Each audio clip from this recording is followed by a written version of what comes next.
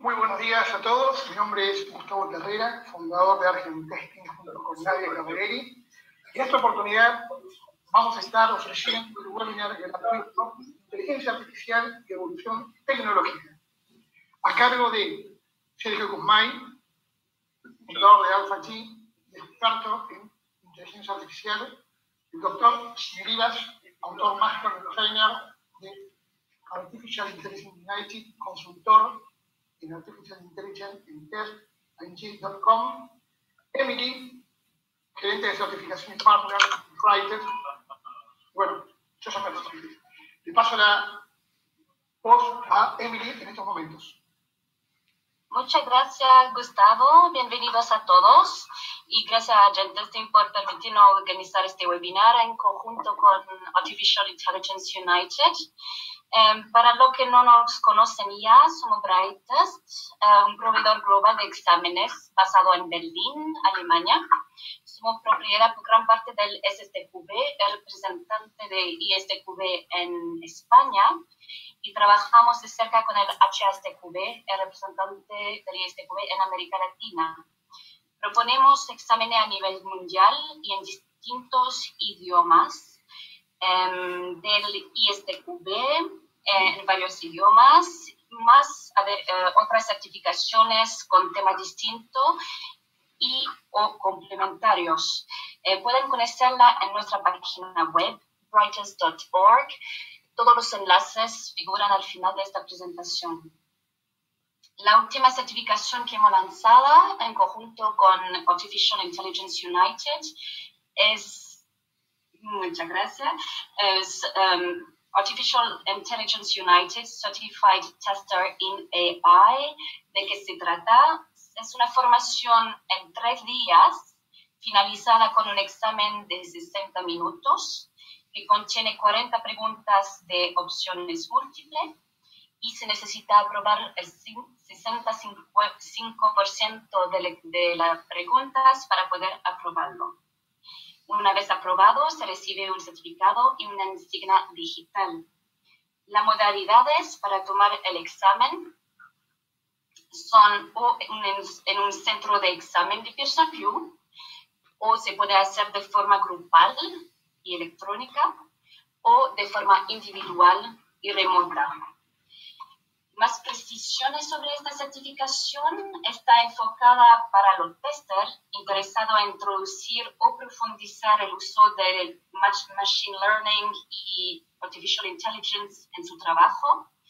No hay requisito previo para asistir a un curso de Artificial Intelligence United o para tomar el examen, pero le recomendamos que posea un certificado ISTQB CTFL que tenga una primera experiencia en el campo de la, de la IA y el Machine Learning y en algún lenguaje de programación. Eh, esta certificación fue creada por un grupo de expertos de la inteligencia artificial y revisado por un comité de más de 50 expertos internacionales en más de 40 países. El programa de estudio está ya publicado en la página de Artificial Intelligence United y luego también estará disponible un examen de muestra. Los primeros cursos están ya planificados en inglés y en español en octubre y noviembre en Europa, Canadá, México y India. Para más informaciones, por supuesto, nos pueden contactar. Ahora dejaré el lugar a Sergio Guzmán para que nos hable de la inteligencia artificial y la evolución tecnológica. Muchas gracias, Emily. Muchas gracias, Gustavo. Eh, bueno, bienvenidos a todos al webinar.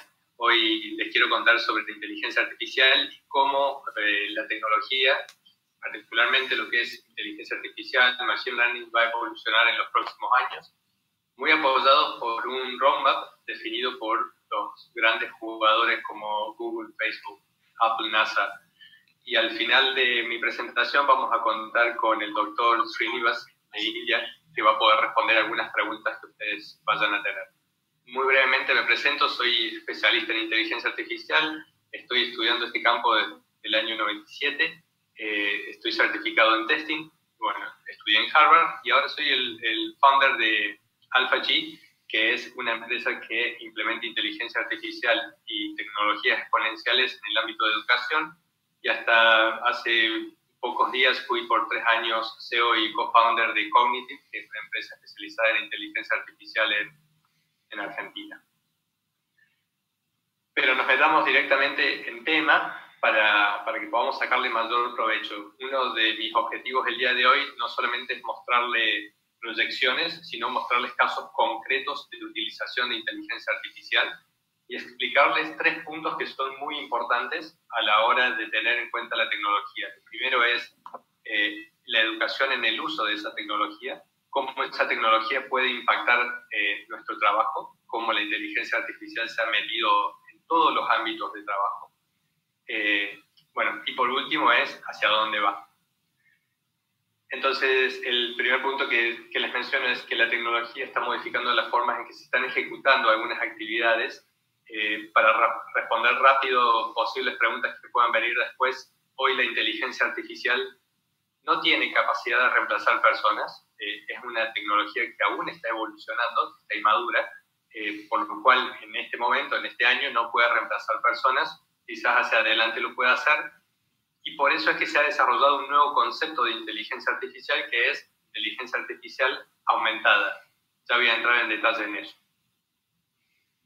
La tecnología está impactando de manera directa en las ganancias netas de las empresas. Esto es porque eh, todas las tareas que son rutinarias o que son tareas monótonas pueden hacer un uso muy eh, eficiente de la tecnología. Eh, podemos multiplicar la capacidad humana de trabajo y esto básicamente, cómo está evolucionando la tecnología en los últimos años, siempre hablábamos del futuro, de, próximamente se va a poder hacer tal o cual cosa, y la realidad es que el futuro es hoy. Y esto ya no es más eh, una, una, maratón, sino es un sprint, es una carrera corta y muy rápida donde la tecnología está teniendo un crecimiento exponencial. Un ejemplo claro es eh, ¿quién no le pasó llamar a, un centro de atención de, clientes que no lo entiendan, que no lo pongan en espera, por ejemplo, eh, generando un nivel de frustración de atención bastante alto? Y del otro lado tenemos una persona que está tratando de resolver nuestros problemas y que por algún motivo no se está haciendo entender o no está solucionando los problemas. Por lo cual, esto es un círculo vicioso en el cual la tecnología podría ayudar bastante. Hoy, hay eh, como una demanda insatisfecha de experiencia del cliente. Esto es porque la tecnología, muchas de las habilidades blandas que tienen las personas eh, no lo tienen. Sin embargo, las personas se quieren comunicar con las marcas en el momento que quieran, por la forma que quieran. Entonces, tenemos que tener posibilidad de atender todos los canales y hoy eh, atender esos canales con, con personas sería como muy, muy caro, ¿no? Después, por otro lado, tenemos que los robots de forma humanoide o de forma virtual están eh, empezando a aparecer cada vez más en los ámbitos de trabajo. Eh, y ahí tenemos que plantearnos cómo nos vamos a sentir nosotros cuando al lado nuestro tengamos un robot ejecutando una tarea igual que nosotros. Este robot se llama Pepper, ya lo voy a mostrar más adelante en la presentación. Eh, él ya está en muchos shoppings en Estados Unidos respondiendo consultas eh, y tiene un contrato de trabajo en un hospital de niños en Bélgica. Eh, por otro lado, eh, la tecnología puede ayudar, en, el, ejemplo que les estoy dando, a mejorar la salud laboral de la gente, donde él no esté haciendo tareas rutinarias, sino que él esté supervisando la tecnología. estos son algunos ejemplos de esfuerzos de inteligencia artificial aplicada a distintos ámbitos. Es, es Pepper en acción en, el Hospital de Bélgica, donde él está diseñado para que cuando un eh, niño ingresa al hospital se sonríe al verlo. Eso predispone a que la persona, eh, bueno, hace que la persona esté más predispuesta a, curarse las, dolencias que pueda llegar a tener. Entonces él recibe al paciente, interactúa, puede entender bien y lo, y lo deriva a donde tiene que atender. Uno de los principales temas a tener en cuenta acá es que la inteligencia artificial es creada por personas, con lo cual tiene ciertas limitaciones. una de esas limitaciones está relacionada con el entendimiento, en, la complejidad que tienen los distintos idiomas, los distintos lenguajes. Por ejemplo, un, idioma, un, un, sistema de Machine Learning funciona muy bien en inglés, eh, quizás tiene menos sinónimos que los que tiene un idioma español y tiene muchos más slangs. Entonces, esa es una cosa a tener en cuenta. Lo otro es cómo la persona que le habla al robot puede eh, entonar. Por ejemplo, si le decimos a Siri, eh, cuando vamos manejando en el auto, Siri, pone tal canción, eh, Siri lo va a poner, pero si tenemos las ventanillas bajas, lo más probable es que no nos entienda. Dos ejemplos más en los que me tocó estar de cerca, uno particularmente es Ross, pero el primer ejemplo que les voy a dar es un robot en China en el cual está tomando apuntes y es el primero que pasó los exámenes para convertirse en un, en un médico. Entonces, durante la residencia se acercaban todos los médicos o candidatos a ser médicos a tomar notas sobre los pacientes y se acercaba un robot de forma humanoide también a hacerlo, tomaba notas y terminó aprobando el examen para convertirse en un médico licenciado. Y por otro lado está Ross. Ross es un abogado eh, un abogado virtual, que es el primero que tiene un contrato laboral, trabaja en un estudio en, en Canadá, y el trabajo que él tiene básicamente es poder leer toda la jurisprudencia de casos similares que un abogado quiera defender. Entonces, por ejemplo, si yo soy un abogado y quiero defender eh, una persona por algo, no necesariamente por algún delito, el Ross lo que hace es leer casos similares hacia atrás y dice, por ejemplo, el argumento ganador para defender este caso debería ser este y las condiciones a tener en cuenta son tales otras. Eh, eso le agrega, le da músculos al abogado que le faltan para poder leer en muy corto tiempo tiene un nivel de inteligencia artificial más alto que no es solamente entendimiento del lenguaje y acción, o sea, responder por intención, sino también que es capacidad de síntesis y de razonamiento. Estos son los, tres casos que más me, han tocado de, cerca. Pero esto también genera algunas consultas o algunas cuestiones de que, primero, que el software está cada vez más presente en la vida, eso no es novedad. Pero las personas que, prueban el software no tienen capacidad de detectar el 100% de los defectos. Eh, en sistemas complejos o en sistemas expertos, como es una inteligencia artificial, esto se multiplica por el nivel de complejidad del sistema. Eh, también tenemos que tener en cuenta que los usuarios, tan pronto algo falle, eh, van a buscar un sustituto. Por ejemplo, si yo le hablo a un, a un bot tipo Snatchbot y ese bot no me logró entender, lo más probable es que lo descarte y trate de hablar con una persona o trate de hablar con otro bot. Eh, los defectos van a afectar la reputación de la empresa porque en cuanto ese bot me frustre, no me entienda o la inteligencia artificial no funcione adecuadamente, se, se va a hacer eh, muy común el nombre de la empresa que tiene una, una inteligencia artificial anómala. Eh, y el mercado se mueve muy rápido, lo que les decía recién, que esto es una carrera muy rápida, mientras que testing necesita tiempo. Por esas razones que necesitamos metodologías que nos ayuden a poder ser más incisivos en el trabajo que estamos realizando y en los productos que estamos sacando. Más que nada cuando tienen inteligencia artificial.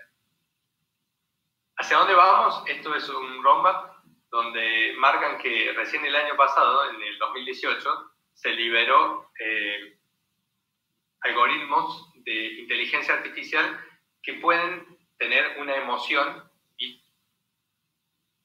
bien, eh, bien configurada. Esto es, no hablamos de sentiment, sino que hablamos de emoción. Es la combinación de urgencia y sentimiento. Una persona me puede gritar y a la vez no tener una urgencia y hay personas que me pueden hablar muy tranquilas y tener una urgencia. En 2022, la inteligencia artificial va a estar capacitada para entender contexto lo suficientemente bien como para interactuar con humanos como recepcionistas. Pero como ya les mostré anteriormente, ya existen algunos esfuerzos en el mundo para poder alcanzar ese hito en el 2022. En el 2024, y esto es muy importante, la inteligencia artificial es considerada un requisito eh, fundamental en la mayoría de los trabajos. Esto es eh, que un abogado por más que tenga otro tipo de carrera, eh, va a necesitar interactuar con tecnología y quizás enseñarle para poder sacar el mejor provecho. ¿Sí? En 2030, recién en 2030, la inteligencia artificial va a ser capaz de pasar un test de Turing. Un test de Turing es cuando una persona interactúa con una, una computadora eh, y no puede distinguir en qué momento es la computadora y en qué momento hay una persona respondiendo La explicación del test de Turing es un poco más compleja que eso, pero a fin de entender las capacidades que va a tener la inteligencia artificial recién se van a liberar en 2030. Y tuve la, la suerte de, de, poder conversar con algunos desarrolladores de Siri y ellos lo que me decían es que hoy se está buscando un nivel de perfección que no se puede obtener. Entonces, por ese motivo, se desarrolla este concepto que es inteligencia artificial aumentada, donde la persona es el centro del trabajo y la tecnología es eh, la capa de músculos o de competencias que a esa persona le faltan o quiera potenciar. Por ejemplo, una inteligencia artificial puede estar recopilando información y trabajando las 24 horas, 7 por 24, y después un humano lo puede supervisar.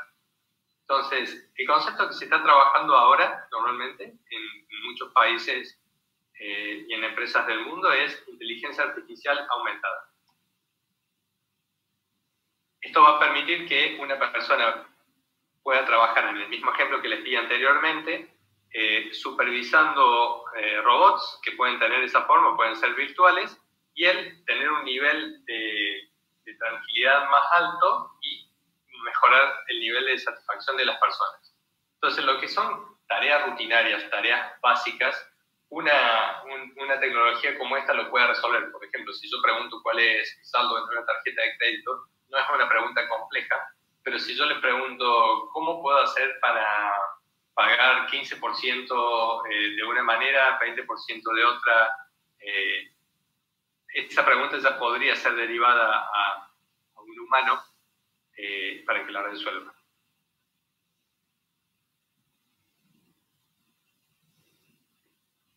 Perdón, voy a, voy a revisar el aviso que, que estoy teniendo de, de chat. No, soy yo, soy, yo. Perdón, Gustavo. Entonces, eh, esta evolución exponencial que estoy comentándoles de, la tecnología y de la inteligencia artificial está despertando algunos riesgos.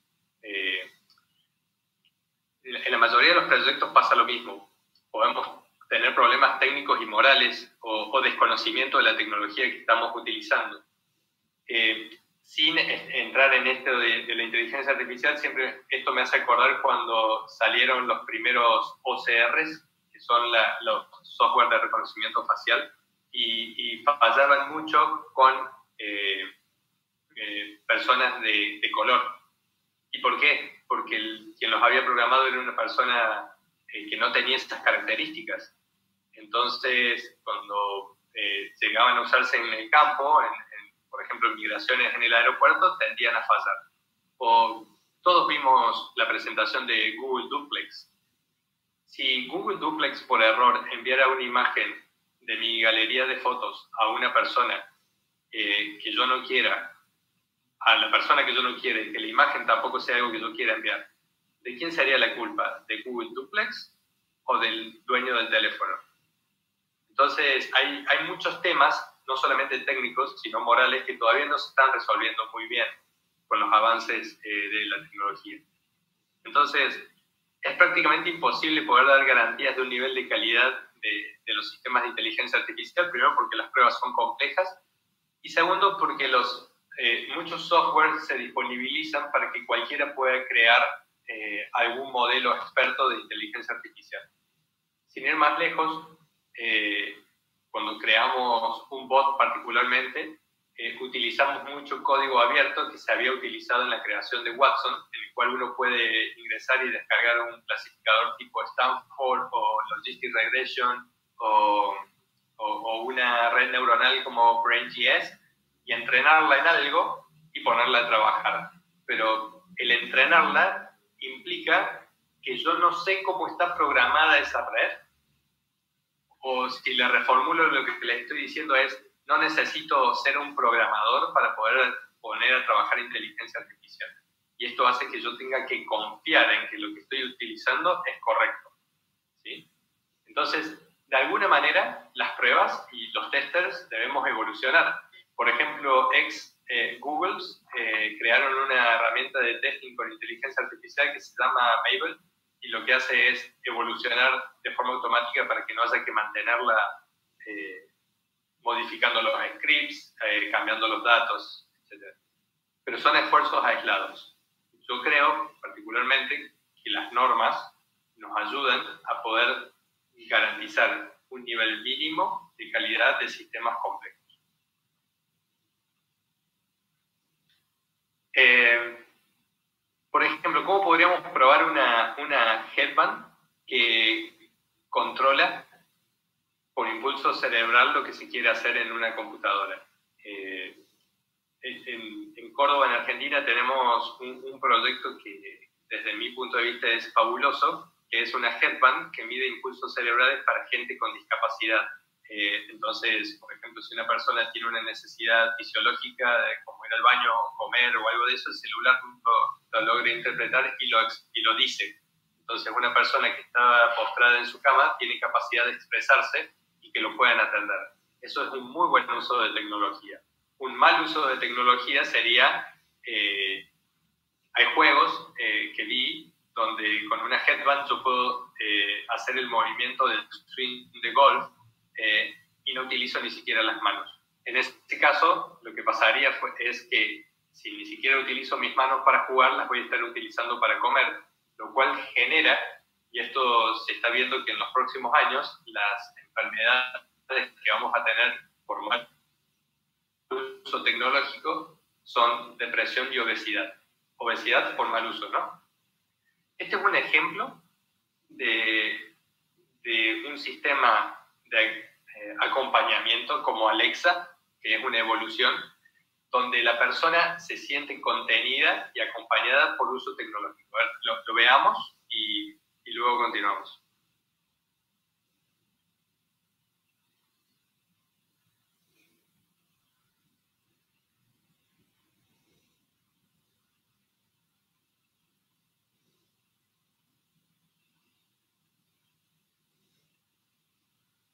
Hallelujah.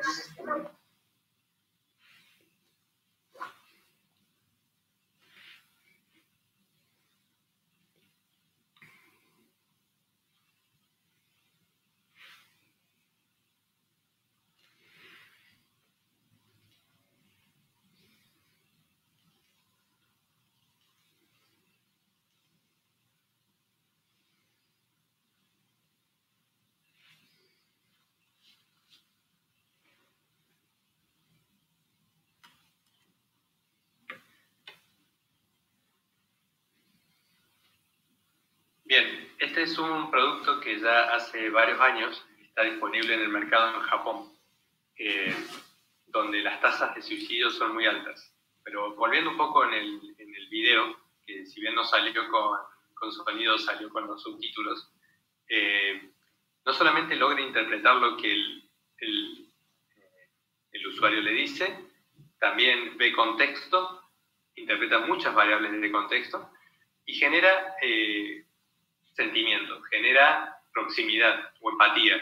Lo que le dice es, le, manda mensajes y le pregunta cuándo vuelve a casa porque lo está extrañando, eh, que no se olvide el paraguas porque va a llover.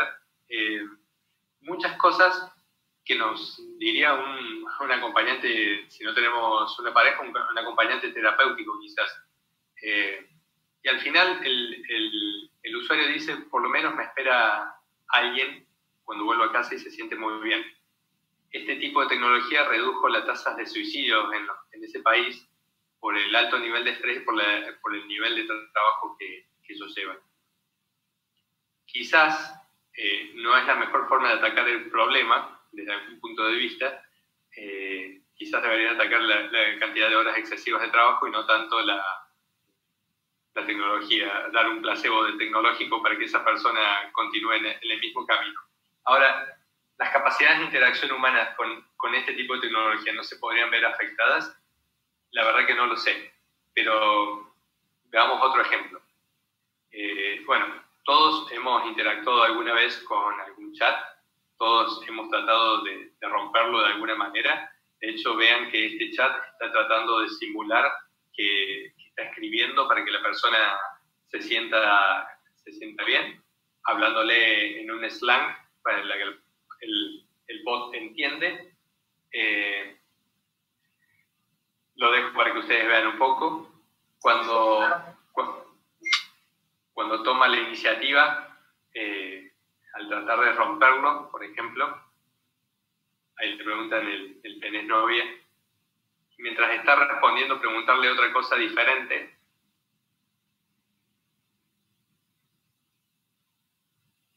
el bot lo responde, va a decir que es el sol porque trae la respuesta de wiki, pero le dice, sigamos, vos tenías, vuelve a los hilos de conversación que, que tiene. Entonces, ya la capacidad de manejar un solo hilo ya no es, eh, ya no es un problema. Ahora todos tienen capacidades de, responder múltiples consultas al mismo tiempo. Otra forma es eh, Alexa. Eh, Alexa tiene seis micrófonos donde puede aislar muy bien el rango de voz de, la persona que lo está utilizando. Una de las pruebas de, de tester que le hice obviamente fue poner música muy fuerte y, preguntarle algo y logra cortar el, el, sonido y me dice, sí, ¿qué, necesitas? Bueno, Alexa para mí es un producto perfecto, ¿no? No va a salir, no, no se va a lograr escucharla, así que les voy a traducir lo que, lo que les dije.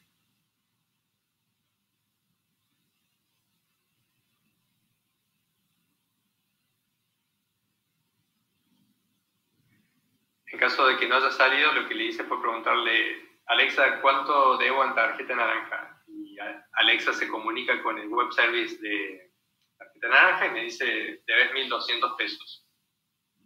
Esto lo hice desde la comodidad del living de mi casa, sin necesidad de levantar el teléfono, sin necesidad de enviar un WhatsApp, sin necesidad de nada. Con lo cual, esto va a cambiar mucho las formas de trabajo y cómo eh, el usuario interactúa con sus marcas, que era un poco lo que les decía antes. Volviendo un poco al tema del buen uso, una de las cosas que a todos los creadores de tecnología nos preocupa es cómo se va a, utilizar esa tecnología. Recién mencioné muy rápidamente que en Argentina, en los próximos años, las enfermedades más graves que vamos a tener son obesidad y depresión, de hecho, la Universidad Católica ya cambió sus planes de estudio para estar preparando médicos que estén capacitados para tratar esas, esas epidemias. Pero una de las cosas que me llama la atención es que países como China, eh, lugares como Dubái, etcétera, enseñan a los chicos desde los 6 años con esquemas educativos diferentes. Les voy a dejar el link ahí para que vean en algún otro momento. Eh, cómo eh, interactuar con la tecnología. Les enseñan lógica, les enseñan a crear rutinas con Legos, con Rusty, eh, y luego les van enseñando programación desde muy chiquitos, por lo cual esos países van a tener una ventaja competitiva muy fuerte a nivel de conocimiento cuando terminen eh, de cursar secundario, ni siquiera la universidad. una de las, de las cuestiones que conversaba con, algunos de los chicos estos hace un tiempo era que eh, un chico muy, muy joven sabe la diferencia entre un clasificador y una red neuronal. Eh, incluso saben la, la, diferencia entre un clasificador lineal y uno no lineal. Eh, y, y, muchos de nosotros, quizás algunos de los que estamos participando de este webinar, no lo sabemos. Les, les muestro muy, muy brevemente sobre evolución de inteligencia artificial y, y, realidad virtual. Eh, en esta misma línea que les contaba de, Singularity, dicen que en el año 2034 eh, la inteligencia artificial va a estar en todos los campos de la ciencia eh, y va a ayudar a resolver un montón de muchos problemas. Los robots van a actuar como enfermeras, niñeras y van a tomar todas las formas de compañía y de asistencia que necesitan las personas por lo cual nuestra eh, longevidad se va a extender un poco más. Y en el 2038 este roadmap termina con que la vida diaria es irreconocible. Dice que la realidad virtual y la inteligencia artificial aumentada va a estar en todas las partes del mundo y en cada aspecto de la vida humana. Hace, hace muy poquito, cuando mezclando con realidad virtual, hace muy poco, cuando se dio la final de la, de la NBA, en casa tengo un Oculus y haciendo un experimento vi realidad mixta, que es estar sentado en el borde de la cancha, sentir el ruido de las zapatillas y los gritos del jugador y poder ver el escenario, el, estadio vivo desde adentro, pero sentado desde, desde casa. Entonces pensaba, esto le gana a la tele, por lejos, eh, todos los negocios se pueden potenciar, incluso, por ejemplo, Barcelona que, va a lanzar la capacidad de ver de esta manera un partido de fútbol desde la camiseta de Messi. Entonces uno podría pagar 50 pesos y ver un partido como, como lo vive Messi. Entonces la pregunta es si estamos listos para testear, para crear y para utilizar esta tecnología, principalmente para utilizar la tecnología de forma responsable y útil eh, les dejo el nombre OpenBCI, son las headbands que se pueden eh, descargar desde Internet. Eh, ¿Cómo podemos darle a los usuarios nuevas maneras de comunicarse y que lo podamos entender, lo podamos contener desde la tecnología? Menciono muy rápidamente el tema de obesidad y depresión nuevamente por mal uso de la tecnología.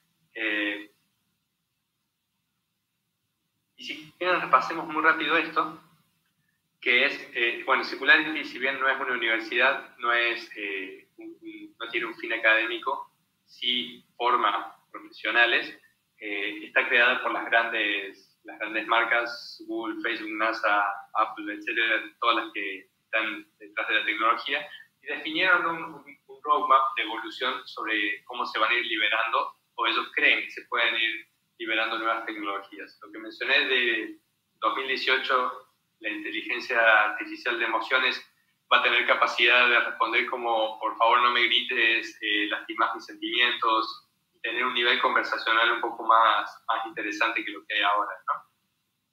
Eh, en el 2020, relacionado a inteligencia artificial, ya eh, va a ser común que la inteligencia artificial realice diagnósticos médicos y recomendaciones terapéuticas siempre supervisadas por una, por una persona, pero ya tiene capacidad de hacer eh, diagnóstico médico.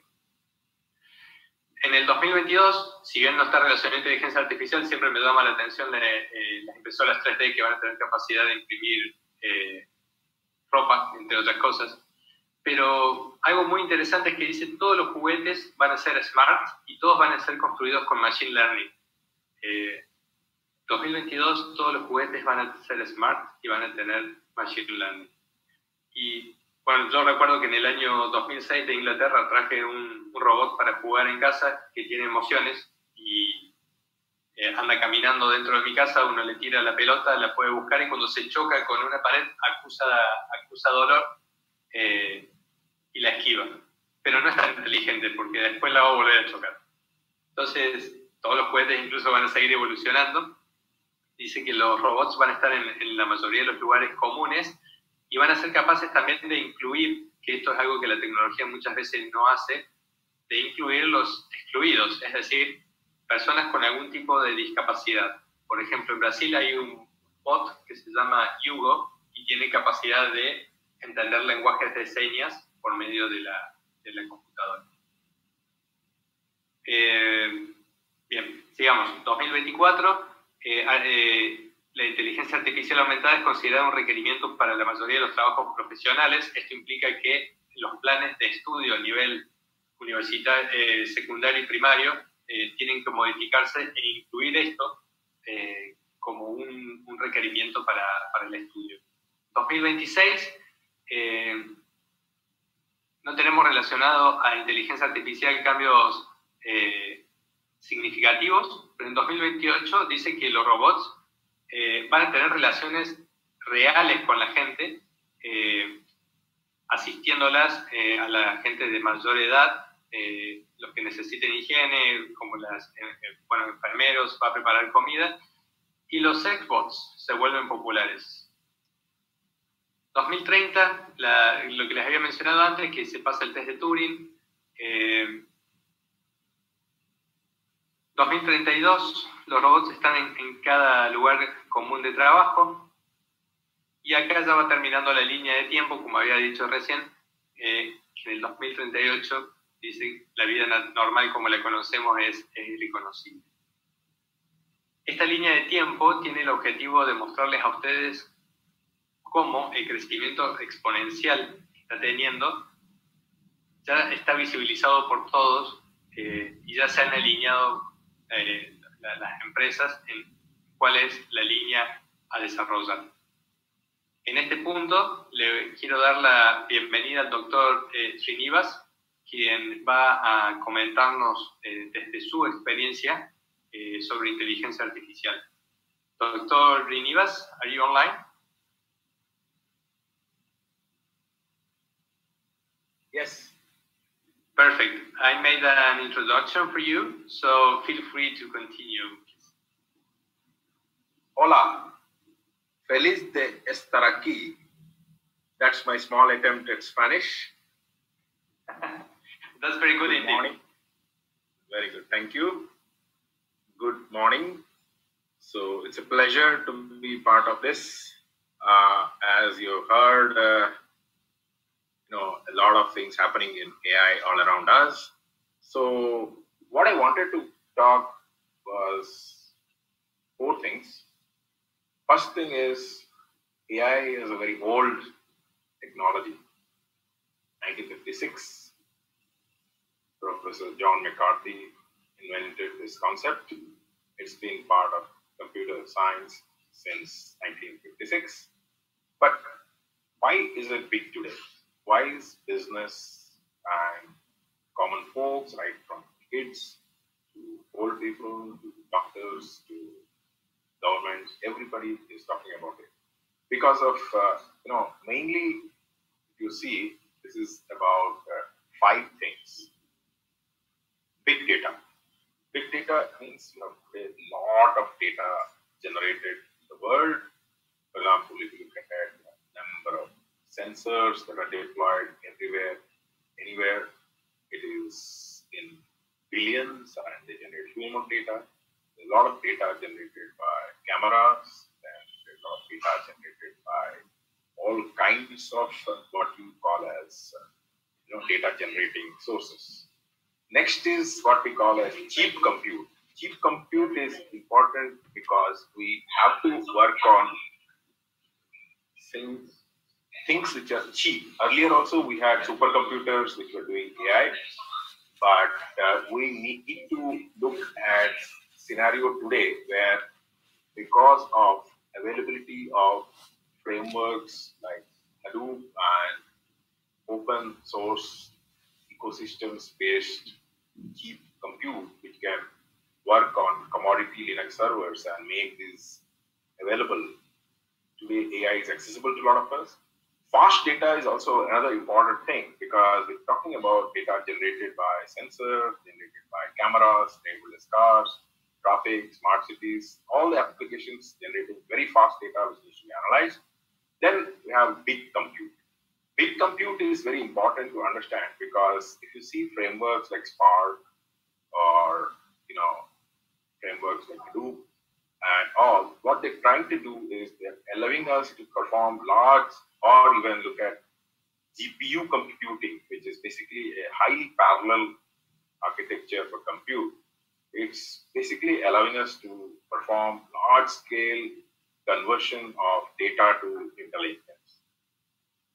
Lastly, unstructured data.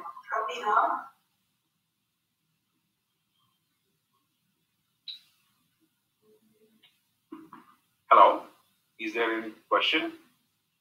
Um, no, no, feel, feel free to continue. Sure. So unstructured data is the most important among all of this because till 10 years back, even 15 years back, we were talking about data means mainly ones which are there in databases, Excel sheets, or reports, etc. Now we're talking about basically four types of data added to that, which is speech, image, video, and text. Because of these four new kinds of data coming together to be fully important and being able to process, we're seeing a lot of applications of AI, for example, in computer vision or in large scale text mining or large scale speech recognition. So if you see, these five are the main reasons why we have AI so popular today. Second point is already, as already we have seen through the presentation I said you that AI is already a big thing in all our applications, right from Google Speech Engine. So in fact, I'll give an example. I use the Google Translate AI application now to translate from English to Spanish, which I used in my speech. That's a classic example of AI in action. You know? So the next point, which is very important, is while there's a lot of AI systems which are popular, but uh, what is also important to understand is we are seeing a lot of accidents in AI systems. Uh, example, I can give you some involving life, for example, a driverless car a lady Phoenix, USA, or a Microsoft chatbot, which actually picked up really unpleasant language because it was gamed by people who wanted to kind of create uh, un, un, unworthy language, and so it had to be taken out. Similarly, recently Amazon had to withdraw an HR robot, which was based on AI for recruitment because it was biased against ladies. So all these are examples which show that while AI systems are being developed, they're not being tested adequately. So they are still lacking in testing maturity.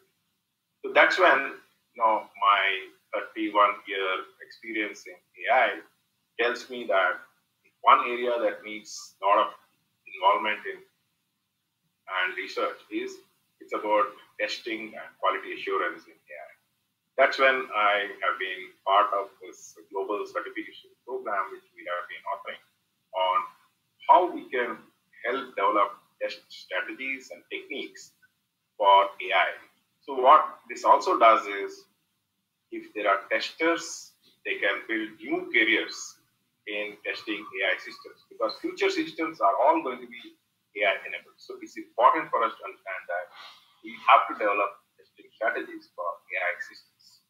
So we hope to make this a very popular global offering among testers globally and it's timely because just like AI systems are getting to be important globally, we hope that they all pay attention to equally importance, equal importance of testing AI systems, and our certification is definitely a step in that direction. And what uh, if you look at my company we're talking about, it is uh, if you see right side, it is testaing.com we are specializing in exactly doing that, bringing the expertise we're building in testing AI systems. Thank you, and uh, gracias. Lovely. Thank you so much, Dr. Srinivas. Uh, let's see if we have some questions from our attendants. Um, I'm going to switch back to Spanish.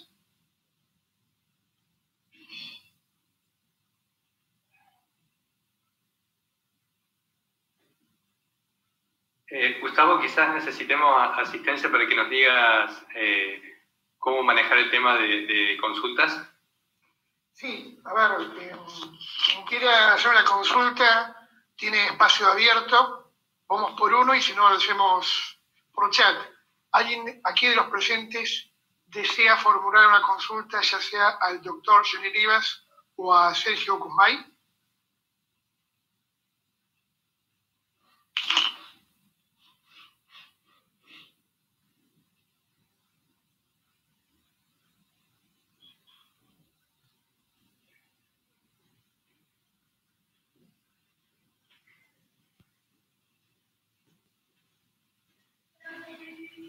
De todas maneras, en caso de, haber preguntas después, entiendo que nos van a, van a poder contactar a, los organizadores del, del, webinar, ¿verdad?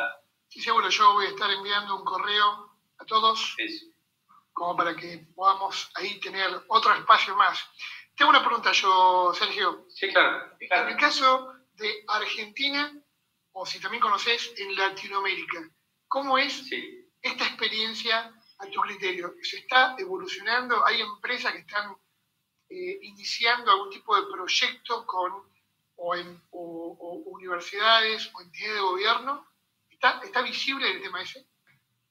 Es, eh, es muy buena pregunta. Mira, se ven a nivel privado, te voy a responder en distintos niveles. A nivel privado se, se ven esfuerzos aislados muy buenos, tanto en Argentina como Chile, Brasil, Perú son, son lugares que toman mucho la, iniciativa en inteligencia artificial. Eh, conozco particularmente un proyecto en Chile que es igual a Ross, viste que mostré el abogado, que se llama Alster en Chile. Eh, en Argentina las universidades están abriendo laboratorios de investigación, particularmente con ICET de inteligencia artificial, lo cual es muy, muy bueno porque se están vinculando con empresas privadas y le están dando un soporte teórico a todo el conocimiento eh, práctico que quizás las empresas tienen. Y, sin ánimo de vender ni mucho menos, eh, lo que, al, ver esta deficiencia o separación entre lo que se espera del mercado en los próximos años y lo que estamos dando de contenido educativo, es que nace AIFA G, donde ya hay acuerdos con universidades, con escuelas, con bueno, de hecho, con organizaciones muy, muy reconocidas a nivel internacional para, para poder hacer que cada vez más jóvenes tengan acceso gratuito a, a este tipo de formaciones. Excelente. Eh, Sergio, acá Miguel Montesinos te quiere hacer una consulta. Miguel, ¿podés abrir el micrófono y hablar? Sí, claro. ¿Ahí me escuchan? Perfectamente. Perfecto. Hola, ¿qué tal? Buenos días. Buen día, Miguel. Hoy en día se tiene algún top 10 de las empresas que están trabajando en inteligencia artificial, digamos, a nivel internacional. Digo, con esto, con la visión a 2000, después todo eso lo mencionamos. Bien, eh, a, nivel, a nivel mundial no hay, hay un ranking que, que nos marque quiénes son las empresas que más esfuerzo le ponen. Quizás se pudiese pensar desde el punto de vista de inversiones pero la carrera de inteligencia artificial está eh, muy dispar en el resto del mundo, donde las dos primeras posiciones se las lleva claramente Estados Unidos y China, después vendrá Israel, después viene Europa, después viene América, y así se va desglosando. En, esto, en este eh, concepto macro que te doy, eh, tranquilamente puede haber algún país, como mencioné recién, Chile quizás que esté un poco más avanzado que el resto de los países latinos, eh, pero no habría una empresa particular o un ranking de empresas que dijera quiénes son los que más esfuerzo le ponen. Yo lo dividiría por, por país en caso de que tengas que investigar. De última, existe una plataforma que se llama G2Crowd, donde podés, eh, por ejemplo, hacer consultas sobre productos de inteligencia artificial y te indica con un cuadrante de Gartner cuáles son los top 10 que están trabajando en esa temática. Ok, muchas gracias. No de nada. Me paro, como imagino algunas personas de las presentes tal vez estén preguntando, ¿no? Hoy, en el 2019, yo tester, capaz que tester manual o capaz que tester que automatiza con o sin conocimiento en programación, años que he dejado la universidad, ¿qué eh, conocimientos, qué habilidades debe comenzar a aprender o reaprender aquella persona que quiere ingresar a este mundo más allá de adquirir el conocimiento de la certificación de Artificial Intelligence United. Eh, brillante, Gustavo. Eh, eh, gracias por darme la oportunidad de, contarle esto a los chicos. es muy importante que los testers tengamos capacidad de desaprender. Vos lo mencionaste recién, dijiste reaprender. nosotros fuimos una, una generación donde nos caracterizamos por la memorización de conceptos. Hoy esos conceptos van a ir mutando de manera muy rápida. Entonces, los testers que se van a destacar, en cualquier ámbito profesional en realidad, pero los testers que más se van a destacar son aquellos testers que tengan capacidad de desaprender estructuras que aprendieron en algún lugar, en la universidad, en el colegio, donde sea, y que abracen nuevos conceptos, como por ejemplo de inteligencia artificial aumentada, donde nos amigamos muchísimo con la tecnología y dejamos de competir pensando que la tecnología nos va a sacar trabajo porque no es cierto. Eh, eso por un lado. Y por otro lado, a nivel técnico, lo que tenemos que familiarizarnos nosotros y muy rápido son con los conceptos básicos de cómo eh, la inteligencia artificial aprende eh, y dónde podrían ser esos puntos de fallo. Eso es, fundamental, saber la diferencia entre Machine Learning, Deep Learning, dentro de dónde se ubican los clasificadores, dónde se ubican las redes neuronales, dónde se ubican los insights, que están muy de moda ahora. Eh, eso, eso es fundamental para el tester. No significa que él vaya a programar eso, pero sí que entienda cómo un clasificador de regresión lineal va a adivinar algo o va a predecir algo mucha de la inteligencia artificial que se utiliza hoy en día es de modelo predictivo o modelo estadístico. Entonces, supongamos que yo le escribo o le hablo un rato largo, lo que tenga más peso de intención es lo que va a intentar adivinar. Pero ya hay, ya está Ross, ya están otros niveles de inteligencia artificial, un Watson que tiene capacidad de síntesis donde funcionan de manera, de manera muy diferente. Yo creo que a nivel teórico tenemos que saber pararnos y entender cómo funciona cada cosa para poder planificar una estrategia de prueba. Me gustaría trasladarle esta pregunta al doctor Srinivas, a ver qué opina él, si te parece. Sí, claro, adelante, adelante. Doctor Srinivas, uh, Gustavo was asking a question about uh, the, the testers, the current testers working right now. Would you suggest, or what's your idea or suggestion for them to learn artificial intelligence or how to test better artificial intelligence? Okay, so there are uh, two aspects to this, uh, which is what we cover in our AI testing certification.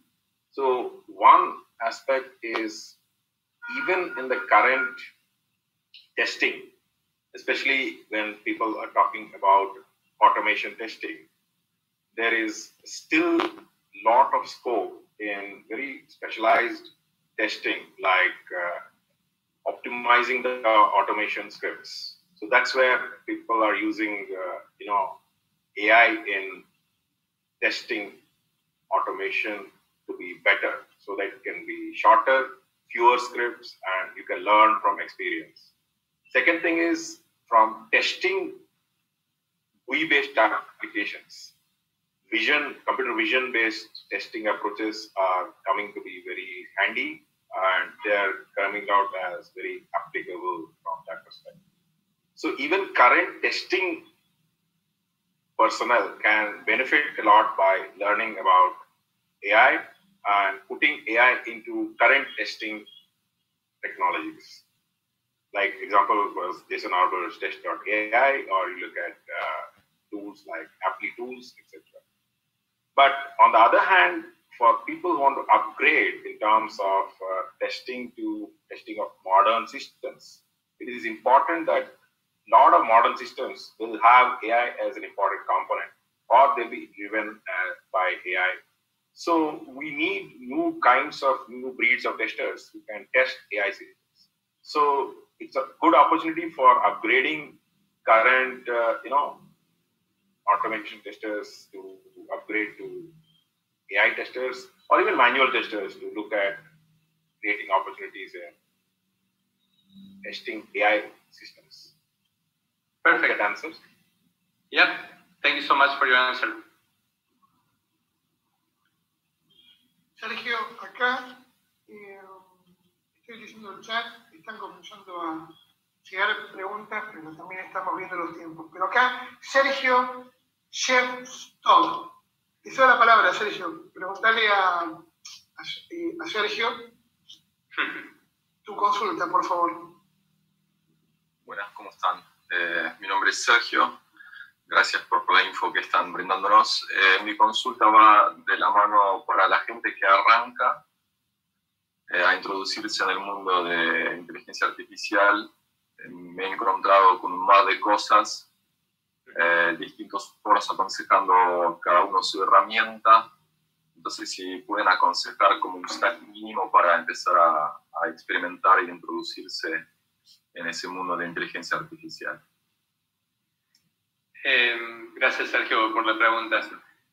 Eh, me parece muy bien lo que decís porque al ser una, una moda, eh, hay muchos lugares donde escriben abiertamente o sugieren, sugieren distintas maneras de aprendizaje de, inteligencia artificial. con lo cual es, un buen punto el que estás tocando. Yo lo que te sugiero es que te, que te muevas casualmente con, con organizaciones eh, certificadas. Eh, en cuanto a certificación, eh, Artificial Intelligence United es, un, un, excelente lugar para que vos tengas un syllabus y un glosario de terminología donde puedas empezar. Después existe la Triple AI, que es un lugar donde yo entrené mucho, donde te dan bibliografía de los avances que se van produciendo en inteligencia artificial y de formaciones para que vos sepas sobre inteligencia, digamos, sobre tecnicismo sobre si vos quisieras programar, que, que no es el objetivo acá. El objetivo acá es que vos logres entender conceptualmente la inteligencia artificial y sepas cómo probarla. Si vos quisieras profundizar más a nivel técnico, te recomiendo Triple AI y si no, eh, creo que el sílabus de eh, Artificial Intelligence United es eh, el, lugar para que tengas una base de conocimiento.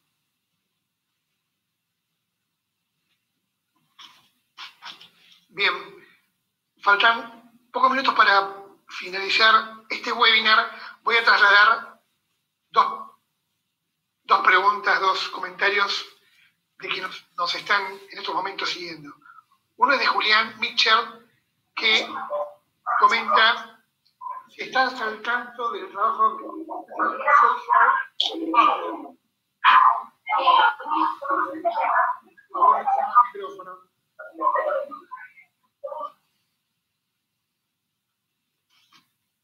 Sí, Gustavo, no logré escuchar la pregunta, perdón. Sí, sí, si estás al corriente del trabajo que está haciendo Jason Arbor y su equipo están haciendo en el proyecto Eh, creo estarlo confundiendo con, con, otro proyecto, con lo cual no, no emitiría comentario, pero eh, vi varios proyectos de, de, inteligencia artificial orientados a testing donde donde implementaban estos modelos, modelos predictivos. uno era eh, Mabel, que, comenté antes, el de test ahí eh, creo que me lo estoy confundiendo, con lo cual voy a decir no esta vez. Ok, ok. Eh, Matías Núñez deja un comentario. Me sumo a lo duda de Sergio. Por casualidad, ¿conocen las tecnologías más comunes o que se conocen, que se utilizan en la actualidad para desarrollar Artificial Intelligence? Eh, mira, nosotros desarrollamos muchísimos eh, algoritmos de inteligencia artificial y los hicimos con, distintos lenguajes. Probamos con, eh, con, JavaScript, nos funcionó muy bien. Eh, probamos con Python. Python es el que más se está recomendando utilizar Eh, sin embargo, nosotros a nivel procesamiento nos consumió muchos recursos y no nos, no nos funcionó muy, muy, bien. Pero se utilizan, los más conocidos son JavaScript, MATLAB, C++, cualquier lenguaje vos podés utilizarlo para, para construir algoritmos de inteligencia artificial. No hay algoritmos que ya vengan como cerrados para este tipo de, de tecnología lo que vemos en las universidades, particularmente que más recomiendan es Python, eh, y, eso, es lo que te puedo comentar al respecto. Ok, acá, acá Mauro Marara es una pregunta que se la dirige al doctor Jenner Rivas. ¿Hay indicios de avance sobre la inteligencia artificial orientada a la educación? ¿Cuáles serían los desafíos del tester en esta área? Desde la inteligencia artificial a la, a la educación. Así es. Uh, okay, Dr. Srinivas, there is a question for you from Mauro.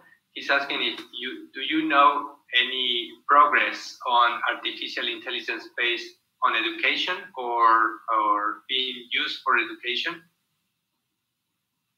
Yeah. So there is a very interesting area.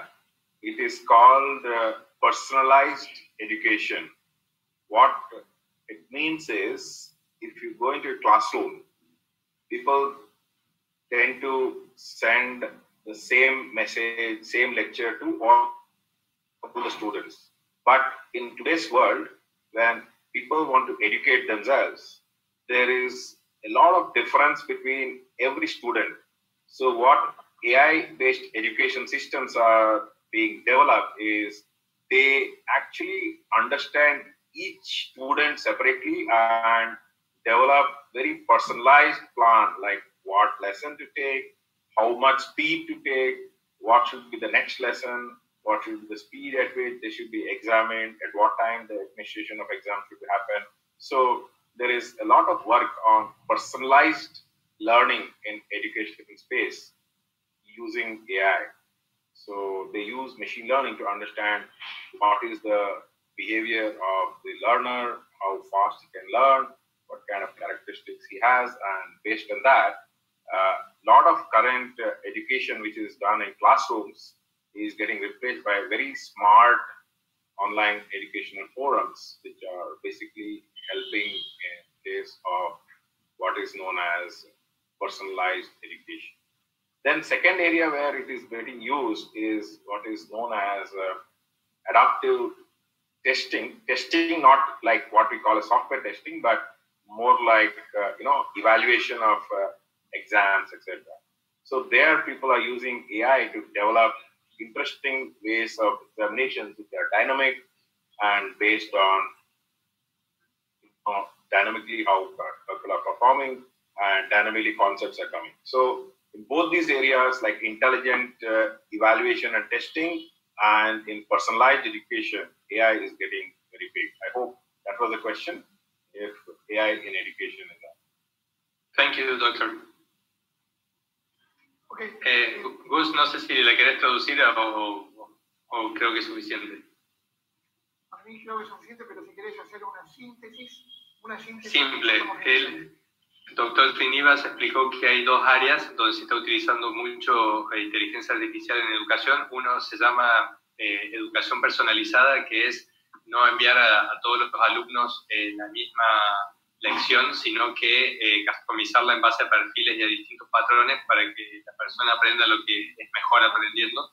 Y el segundo campo es eh, los exámenes inteligentes, que es una nueva forma de generar exámenes para evaluar conocimiento con inteligencia artificial. Excelente. Bueno, ya estamos en tiempo para cerrar el webinar. Solamente voy a trasladar una última, última pregunta de parte de Matías Núñez. Eh, ¿De dónde puedo conseguir el sílabus que mencionó Sergio? No sé a qué se Para eso hay que comunicarse con Kyle y con Emily eh, por, después del webinar y, bueno, y, empezar a, averiguar sobre la, sobre la certificación. Sí, claro. Ok, ok. Eh, bueno, desde ya, sumamente agradecidos estamos de Argentesting. Agradecemos mucho la participación del doctor Geneva. Thank you so much, doctor. Thank you so much. Eh, Thank you. Thanks, everyone. muchas gracias, Emily, por también acompañarme en la presentación.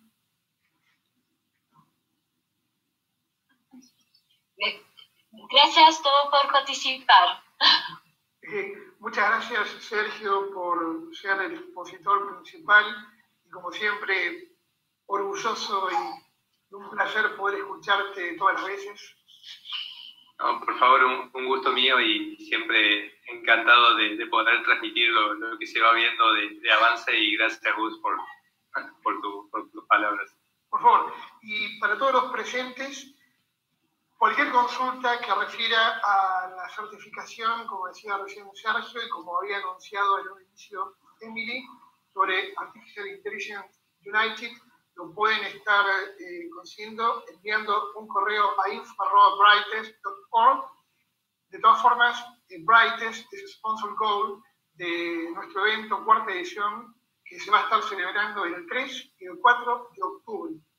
Ellos van a, tener, van a estar presentes con su respectivo stand y los van a poder conocer. ¿sí? Todavía hay algunas vacantes para el día 4, para las charlas, y va a estar Emily con otra persona más en el stand para que le puedan hacer no solamente estas consultas, sino otras más. Muy bien. Muchas gracias nuevamente, muy agradecidos. Estamos todos porque ustedes hayan participado. Hasta la próxima.